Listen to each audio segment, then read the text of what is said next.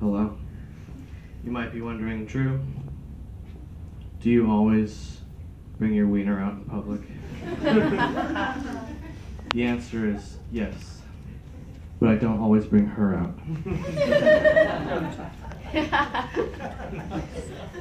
Excuse me, my eyes are up here. A problem I have is IBS, irritable bowel syndrome. I'm not an angry asshole. I just have one.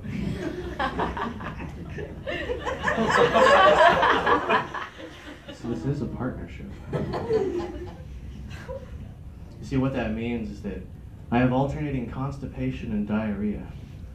But half the time, I don't give a shit. it's supposed to be like self deprecation. It's more like self defecation. I think I hit a low point in my life. The other day, someone caught me attempting to have anal sex with the statue. I think I finally hit rock bottom.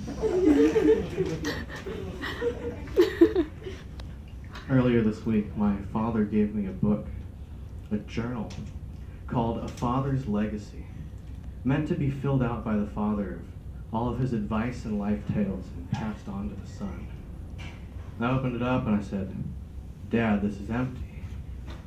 He said, Drew, I don't know your real father.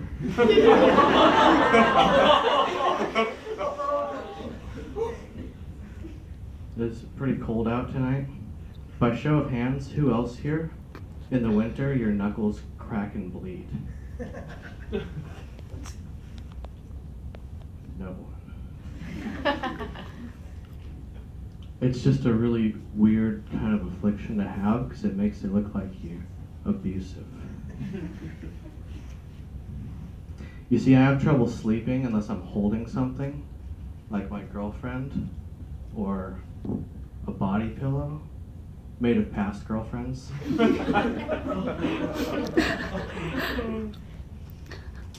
I recently inherited a morgue, but I'm more of a businessman than a mortician. So I figured I'd turn it into a Build-A-Bear workshop for necrophiliacs.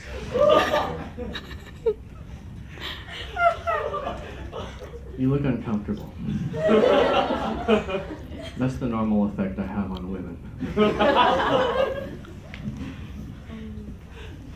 I was in the car with my mom, and I was like, Mom, this song is fucking terrible. She's like, Drew, you know, you wouldn't have been born without this song. I was like, well, what would Dad have said? He would have said that you wouldn't have been born if there hadn't been a ban on aborting rape babies. Jesus Christ. Is that too dark for you? Don't worry, it gets darker. I like my women like I like my burgers thick and juicy, and sometimes in bags in the freezer. you want to say something?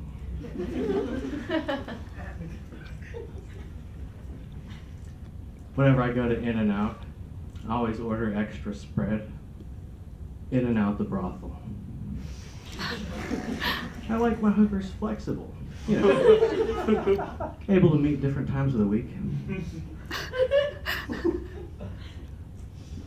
the first people to have six packs were the Aboriginals.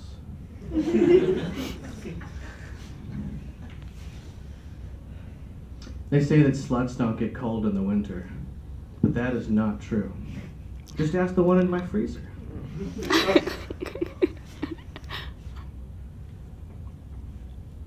I recently had a mint, but it made my breath smell bad. So I think it might be a detriment. Was that one painful for you?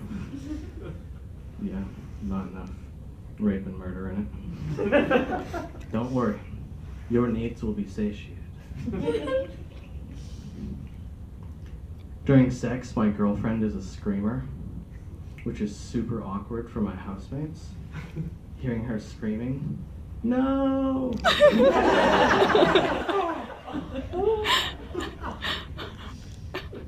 my uncle just turned 40, and they said that he's over the hill, buried somewhere.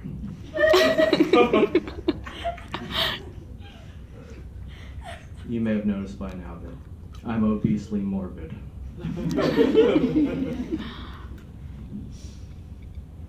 One time I went out on a date with this girl, and she insulted everything about me my clothes, the way I talk, the things I'm interested in. I mean, she was absolutely heartless when I was done with her. Don't worry, not all of these jokes are true.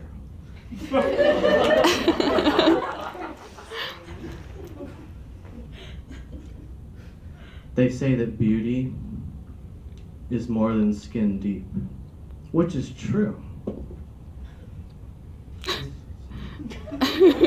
It's actually quite deep if you sink her right. I've got this robot friend that's made entirely of scrap. But he recently got in trouble for indecent exposure when he whipped out his junk. I went to my Vietnamese friend's barbecue last weekend. And I got kind of mad when I got there. I was like, whoa, there was a dog on his grill. I'm like, dude, I told you you're a terrible driver.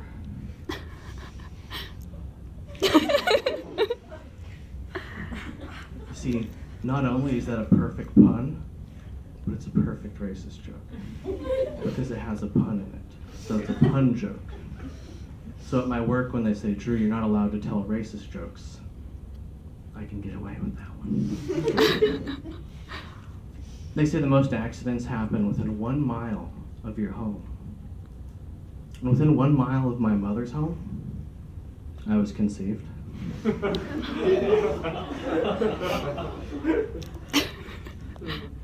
my girlfriend's not very big on alcohol. She keeps trying to interject, but then she remembers that she doesn't speak English. like she speaks Spanish. My girlfriend is not very big on alcohol. But in order to get her off, she has to be shit faced, which is great for me since I have IBS.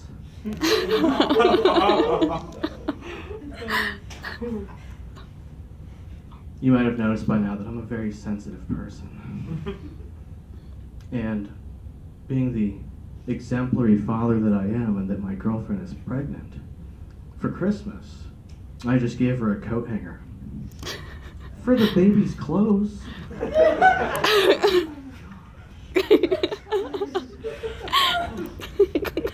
My.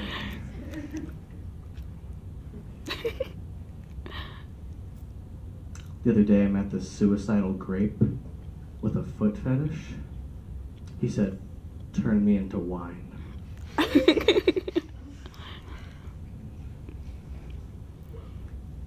There's this pink bird that coughs up lots of gunk. It's the flamingo. Was that too cute for you? Was it too cheesy? Yes? you see, I wouldn't normally watch my dog and bring her to a comedy show, but she insisted. And so did my mom, who's out of town. this chick's weight went from 150 to 180 in three days. It was water weight. She was bloated, said the guy that found her body in the river. Glad that you love these. I do them to make people happy. Especially the look on your face. Yeah, yeah. You seemed really to enjoy the visuals that I gave you there. I got this new rape whistle.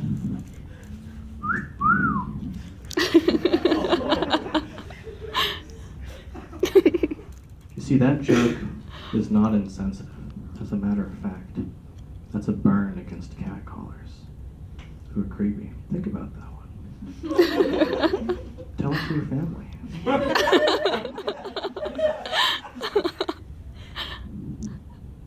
I'm currently in a research position, and I just submitted my abstract. It's just a bunch of random shapes.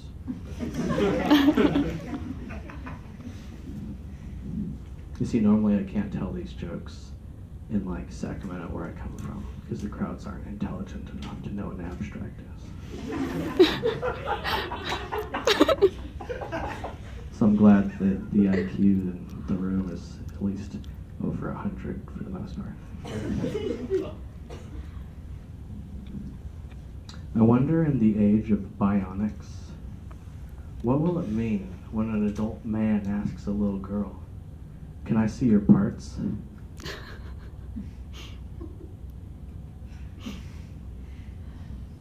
No.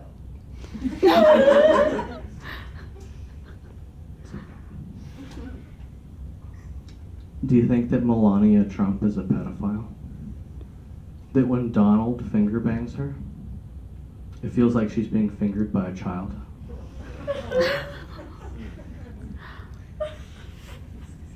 True story. You know it's a good joke when it insults more than Trump.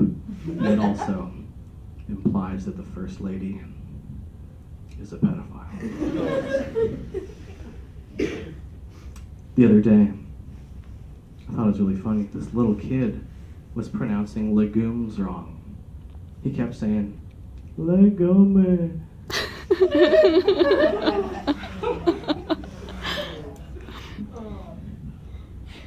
Being that this is a Planned Parenthood event, I made sure to include lots of abortion jokes and other things. For instance, I finally got my girlfriend the birth control shot.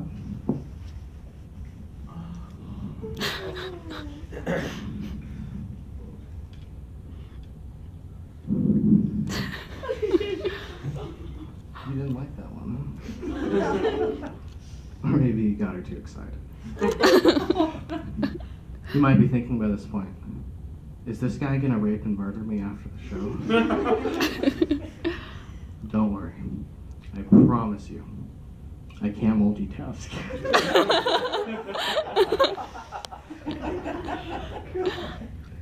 Pardon me, I'm generally averse to public displays of affection. French kiss was for you.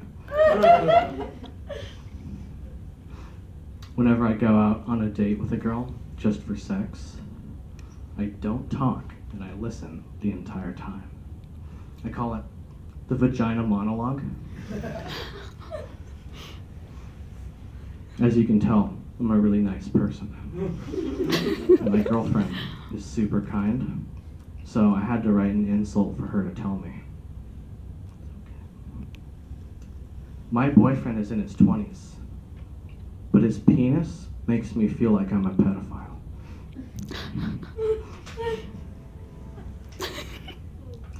You can let that one sink in. I told my girlfriend to be more animalistic. She threw her poop at me. I guess you could say I have shitty taste. Then the other day, she shaved her pubes, and she was like, "Does this make me more attractive?" I was like, "That that makes you look like a five-year-old." So yes. It's weird to think that I was like once two feet. And like never since then have I ever been so hard. No?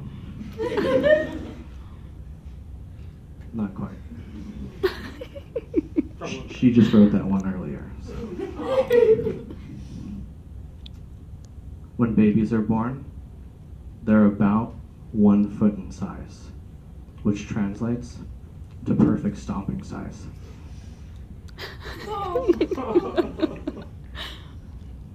Unless you have small feet.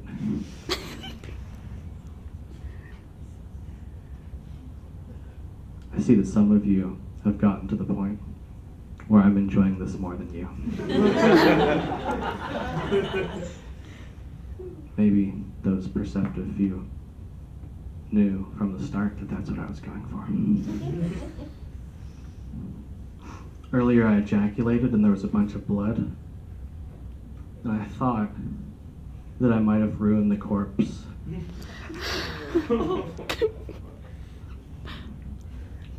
that one might be a true story. You see, I have really conservative grandparents, and I like black metal. But you see, they hate it. And I'm not sure if it's because they think it's satanic or because they think it's black. yeah. My grandpa, I think Trump was inspired by my grandpa. so, considering that, you may now think that, well, Drew turned out all right.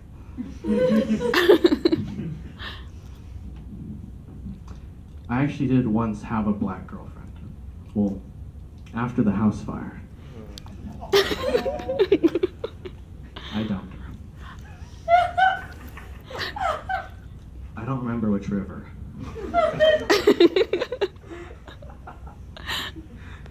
you see, I was actually supposed to see my grandpa for dinner yesterday. And then my mom was like, Oh, grandpa flaked. I said, What is that, like coming for old people? you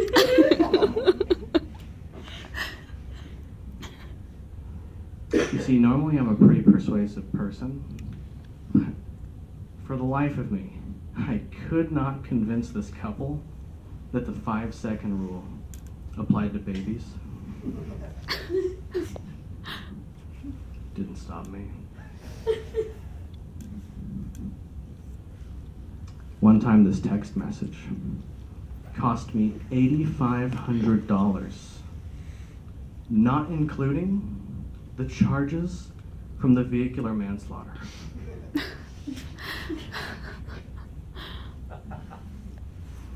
Don't worry, there's only a few more. or, congratulations, there's a few more. I remember when I was little, we used to say, if you step on a crack, Dad will beat you because that shit's expensive.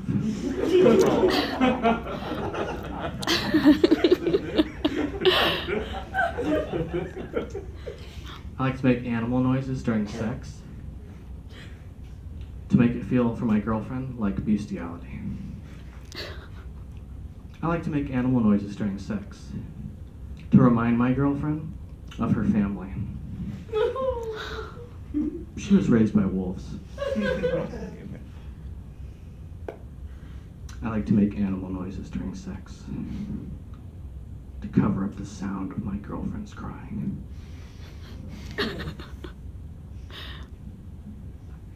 One of those is true. told you that she gets along well with my dog, that might be a hint. Yesterday I put my hair in a pony. My pubic hair. in a pony. Oh.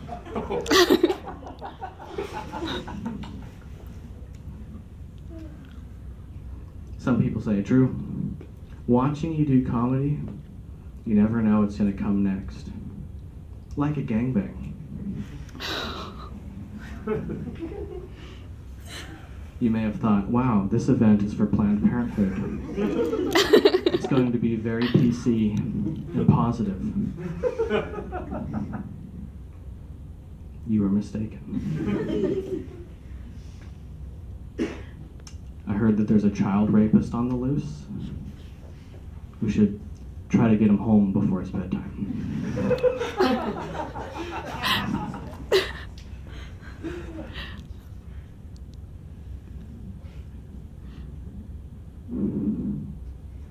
I like to breathe breathe in the mic sometimes.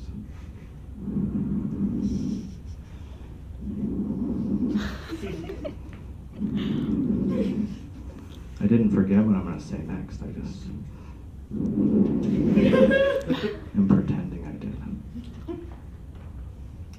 You see, I have so much pubic hair that you can hardly see my penis. My girlfriend calls me Sasquatch. I try to send her dick pics, but they're all blurry.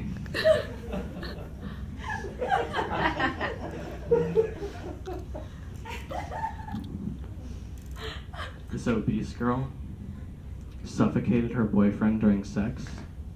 He couldn't get her off.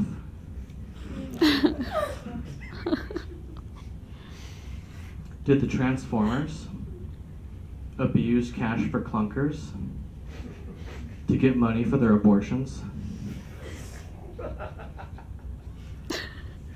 You have to know what cash for clunkers was.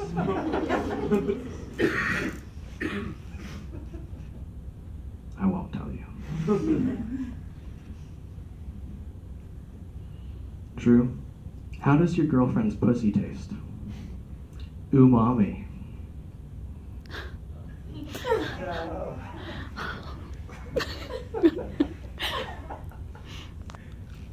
You can bring that one back home. My grandma loved that one. It was her favorite. I'll end on a high note. My sister is a cheap asshole. And by that, I mean $5 anal. Which explains why she has all my allowance money.